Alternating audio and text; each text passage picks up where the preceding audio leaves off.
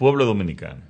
Como saben, el pasado jueves tomé la decisión de decretar el cierre de la frontera entre República Dominicana y Haití, después de haberse agotado el plazo de 72 horas, dado a quienes, de manera ilegal y en franca violación de los tratados fronterizos entre ambos países, no atendieron nuestros legítimos reclamos de parar de forma inmediata la construcción de un canal para desviar las aguas del río Masacre.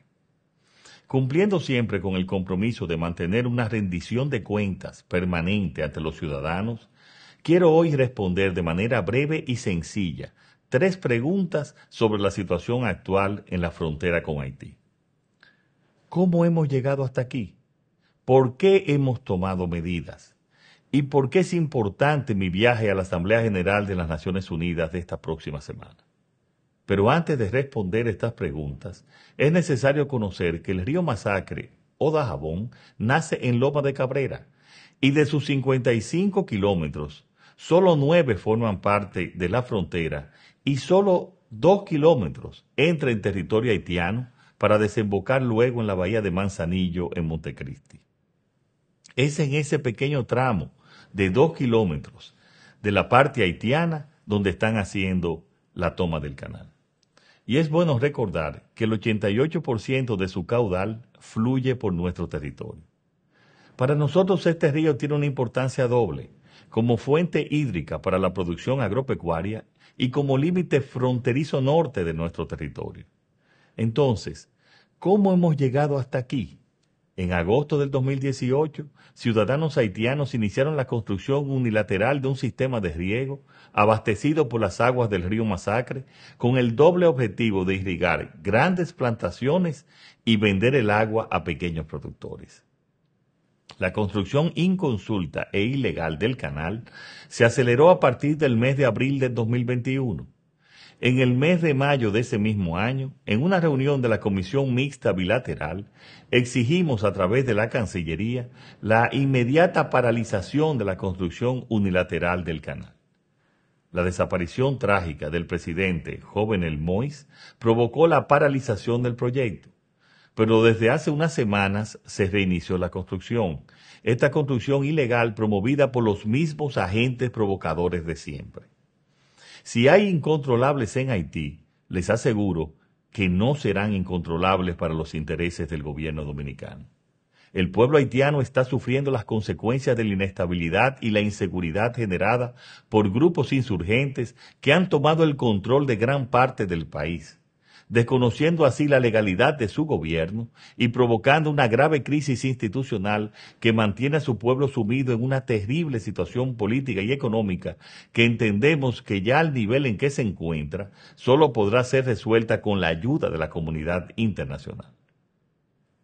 Ante esta grave situación, que traspasa los propios límites del país vecino, llegando a afectar de forma directa nuestros intereses y nuestros legítimos derechos, Hemos entendido la necesidad de dar una respuesta contundente en legítima defensa contra los grupos incontrolables que no obedecen al orden constitucional haitiano ni reconocen los acuerdos bilaterales que rigen las relaciones fronterizas entre ambas naciones la Constitución de la República Dominicana, que he jurado cumplir y hacer cumplir, consagra la inviolabilidad de nuestro territorio y obliga a regular el uso sostenible y la protección de los ríos fronterizos, respetando los principios contenidos en el Tratado de Paz, Amistad y Arbitraje de 1929 y el Protocolo de Revisión del 1936. Este tratado indica en su artículo 10 lo siguiente en razón de que ríos y otros cursos de agua nacen en el territorio de un Estado y corren por el territorio de otro o sirven de límites entre los dos Estados, ambas partes contratantes se comprometen a no hacer ni consentir ninguna obra susceptible de mudar la corriente de aquellas o de alterar el producto de las fuentes de las mismas. Precisamente eso es lo que están haciendo algunos particulares haitianos. ¿Por qué hemos tomado medidas? Para impedir que sequen nuestros ríos, que talen nuestros bosques o extingan nuestra fauna. El precedente de una obra de riego construida de manera unilateral puede conducir a una escalada de construcciones que acabarían con el río. La construcción del canal ilegal podría afectar el caudal del río en la zona baja, perjudicando unas 14.000 tareas de terreno cultivable en territorio dominicano y unas 10.000 tareas en territorio haitiano que benefician a 266 agricultores dominicanos y 125 agricultores haitianos de un lado y otro de la frontera. También podría causar un daño ecológico al vital ecosistema de agua dulce de Laguna Saladilla, uno de los humedales más importantes en la República Dominicana. Haití y su falta de planificación han hecho que en la práctica casi la totalidad de su territorio se destroce sus ecosistemas y malgestione sus recursos naturales. Y de esta situación se derivan acciones como esta, desordenadas y sin planificación sobre el río Masacre.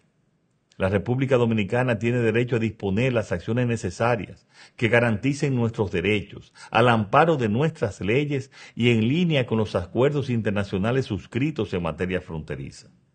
Nuestro objetivo es garantizar la seguridad y el interés nacional, así como proteger nuestros ríos, medio ambiente y producción agrícola. Como muestra de nuestra firme decisión de impedirlo, suspendimos la entrega de visados, prohibimos la entrada al país de los promotores del proyecto, cerramos la frontera terrestre, aérea y marítima, instruimos reactivar la toma de agua de la vigía, ordenamos la construcción de la presa de Don Miguel y reforzamos la presencia militar en toda la frontera. Las medidas estarán en vigor hasta tanto consigamos la paralización definitiva del canal en construcción. Y esto no se trata de un conflicto entre dos pueblos, porque ni el dominicano ni el pueblo haitiano queremos la confrontación. Lo que han demostrado nuestros pueblos es el deseo de vivir en paz. No deseamos ni buscamos una confrontación, pero sí estamos enfrentando a los incontrolables que mantienen la inseguridad en Haití y que por sus intereses particulares ahora conspiran también contra la estabilidad de su gobierno y la seguridad de nuestros recursos hídricos.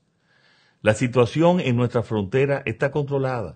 La población puede estar tranquila porque no existe ninguna amenaza para el desarrollo de sus actividades cotidianas en todo el país la paz y la seguridad en la República Dominicana están garantizadas.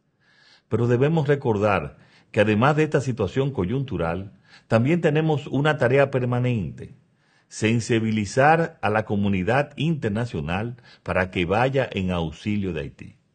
Por eso es importante mi viaje de esta semana, porque la solución definitiva está allá y no aquí. El problema de Haití ya no está en Haití, está en manos de la comunidad internacional. Lo estoy diciendo desde mi primera comparecencia ante la Asamblea General de la ONU en septiembre del 2021. Y lo repetiré ahora en mi próxima intervención. No hay solución dominicana al problema haitiano. A nosotros no se nos puede pedir más de lo que hacemos a favor de Haití. Seguiremos siendo solidarios, pero sin olvidar que nuestra principal responsabilidad es defender los intereses del pueblo dominicano. Así lo hemos hecho siempre, así lo estamos haciendo y tengan por seguro que así lo seguiremos haciendo. Muchas gracias y que Dios bendiga al pueblo dominicano.